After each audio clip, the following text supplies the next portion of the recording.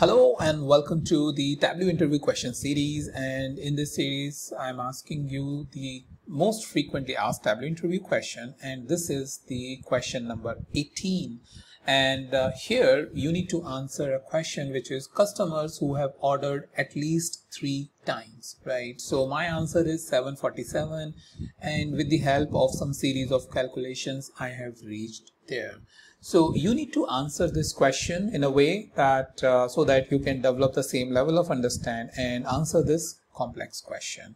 So if you are uh, able to develop this you know calculation then write down in the comments so that I can match with my calculation and make sure you know it is it is in line. Or if you have a better calculation maybe you have a you know better way. I I was able to do it with some series of calculation.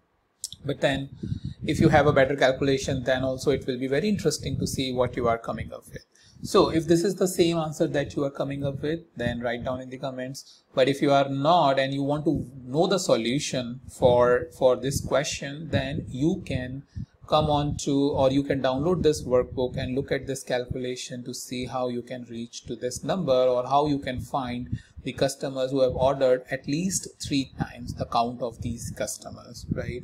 So where, from where to download it? Well you can download it uh, using the link which i have given in the description.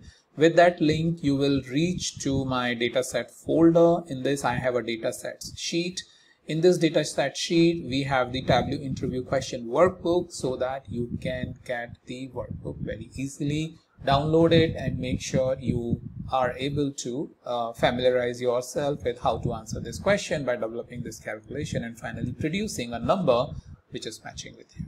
So with that, thank you so much for watching and now I'll meet you in the new video with a new question and if you have not yet subscribed to my channel, make sure you subscribe it so that you get all of these questions and other videos directly in your inbox. And if you enjoyed this video, then hit the like button. With that, thank you so much. I'll meet you in the next video.